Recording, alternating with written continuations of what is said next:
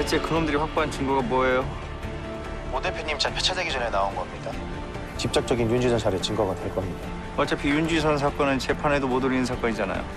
판사가 영장을 내줬다는 건 박건우 살인교사 혐의 증거로 인정을 했다는 겁니다.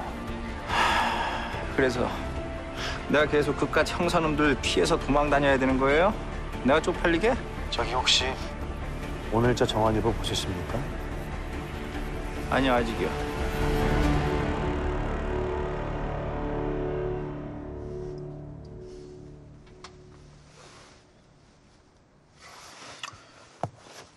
여긴 자주 왔었겠네.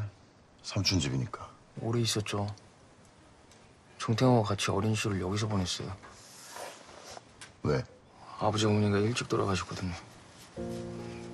아버지는 살해당했고 어머니는 우울증으로 스스로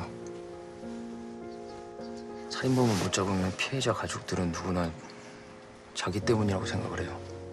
내가 아버지한테 전화해서 빨리 들어오라는 얘기만 안 했다면 범인이 나타나는 순간 소리를 질렀다면 아버지는 죽지 않았을 거다.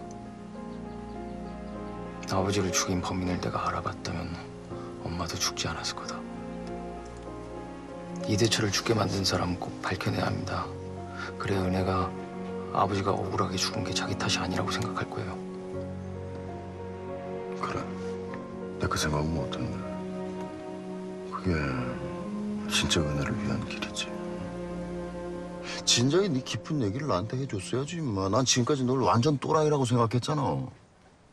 그럼 지금은 생각이 바뀌신 거예요? 어. 완전 또라이는 아니고 그냥 음, 그냥 또라이 정도? 근데 그 이유가 혹시 그, 그 기부금 때문 아니고요? 야, 너는 어떻게 날 이렇게 정확하게 아니?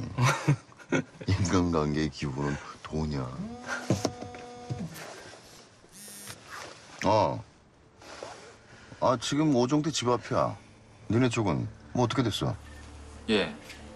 오종태가 자주 가던 곳 파악해서 그쪽 CCTV 연결했습니다. 예. 나타나면 바로 연락드릴게요.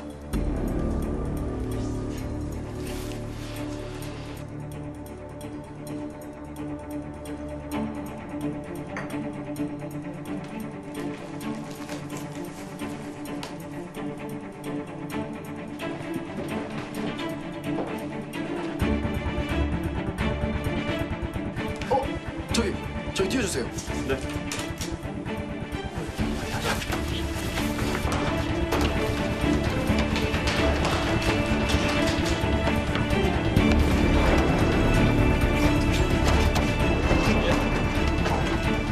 자주 가던 카페에 오종태 나타났습니다. 차 번호 땄고요. 근처 순찰차에 연락해 놨습니다.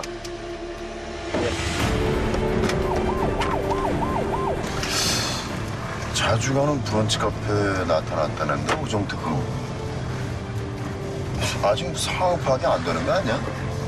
아니요, 알고 있어요. 잠시 시간을 본 거예요. 모습을 드러냈다는 얘기는 이미 대책이 끝났다는 얘기일 수도 있어요.